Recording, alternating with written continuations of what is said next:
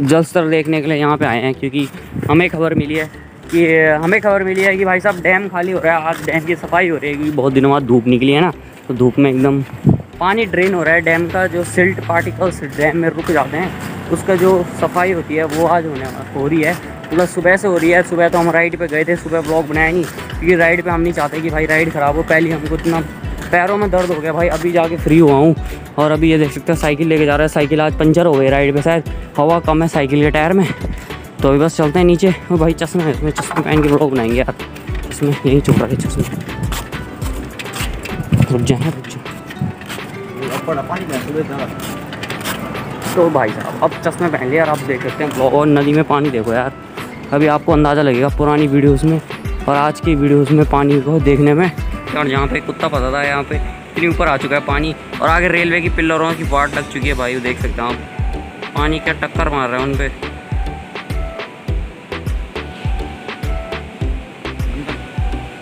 जो आज सुबह की हमारी राइड हुई थी, उसमें हमने ब्लॉग इसलिए नहीं बनाया क्योंकि भाई वो थोड़ी लंबी राइड थी और पैरों में दर्द हो जाता है ना, और फ़ोन में भी चार्जिंग नहीं थी। और हम जब सुबह राइड पे जा रहे थे, हमने नदी में पानी देखा था पर हमको ये लगा था कि मतलब पानी मतलब ऐसी ज़्यादा हो गया होगा, क्योंकि रात को बारिश हुई। फिर ध्यान आया कि पापा ने बताया था कि जो डैम है, उनकी सफ़ाई होने वाली है। मतलब हर साल सफ़ाई होती है।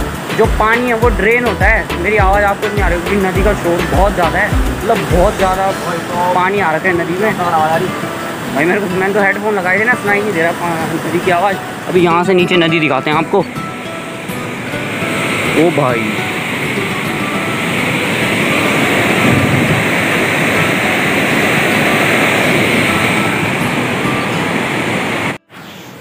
फुल वाइब्रेट हो रहा है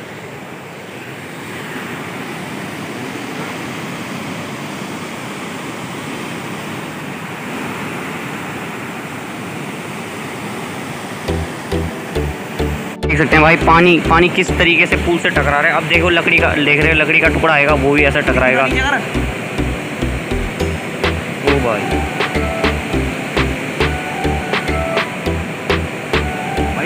भाई सारे बैगे हुए किस टकरा रहा पानी और घाट तो भाई साहब पूरा डूब चुका है वो देख सकते हैं वहाँ पे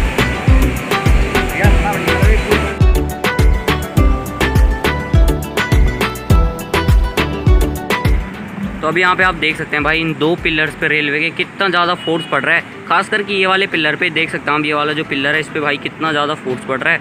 ये वाला पिलर है जो। और बाकी के दो दो पिलर हैं इन पर ज़्यादा। बाकी के जो ये हैं भाई, इन पर तो कुछ भी मतलब फोर्स या कोई भी लोड नहीं है। और सबसे ज़्यादा तो भाई ये वाला पिलर झेल रहा है, देख सकते हैं कितना ज़्यादा पानी का फोर्स उस पर लग रहा है वहाँ पर तो अभी भाई ये पुल जब हम पुल में थे तो पुल वाइब्रेट हो रहा था पूरा। तो अभी यहाँ पे सुबह के बज चुके हैं भाई, साढ़े सात और हम जा रहे हैं मंदिर। सबसे पहले आपको श्रवण मास के पहले सोमवार की ढेर सारी शुभकामनाएँ। तो ये कल का वीडियो है, जो कि मैं कंटिन्यू कर रहा हूँ आज, क्योंकि कल कुछ ज़्यादा वीडियो बन नहीं पाया था। और अभी मैं जा रहा हूँ मंदिर हिमांशु और अक्की दीदी के साथ। तो कमलेश्वर मंदिर जाएँगे, वहाँ पे आपको थोड़ा बहुत दिखाएँगे।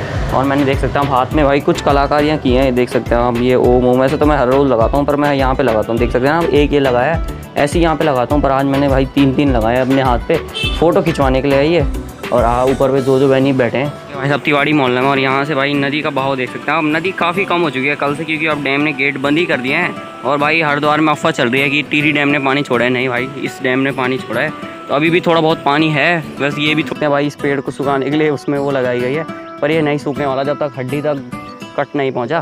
जो पेड़ के बीच में कट होता है वो जहाँ हड्डी होती है जहाँ तक वहाँ तक कट नहीं पहुँचा तो पेड़ कभी नहीं सूखता है।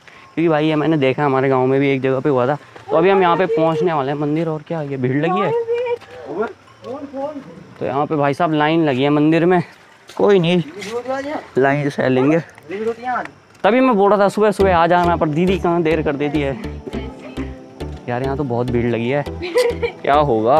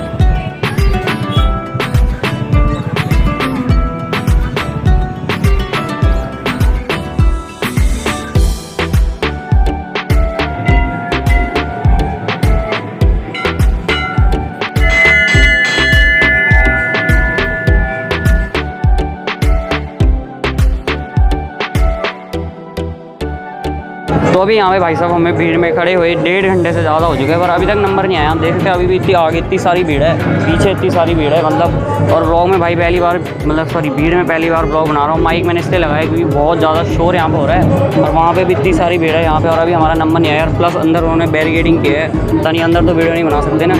और भाई मंदिर तो है ही मैंने पहले आपको दिखा रखा है मंदिर अपनी वीडियोज़ में। जहाँ अंदर भाई इन्होंने बैरिकेडिंग कर रखी है। भी भाई साहब हमारे यहाँ पे दर्शन भी हो चुके हैं भाई बहुत ही थकान लग चुकी है। और ये माइक भाई बार बार गिर रहा था वहाँ पे। तो अभी फटाफट घर निकलने की प्रियांशु भी पहुँच चुका है। इस वीडियो को यहीं पे एंड करते हैं। उम्मीद करते हैं आपको पसंद आई होगी, पसंद आई होगी लाइक कमेंट शेयर सब्सक्राइब ज़रूर कीजिएगा। मैं मिलता हूँ किसी अगली नई वीडियो में, तब तक क्लिप बाय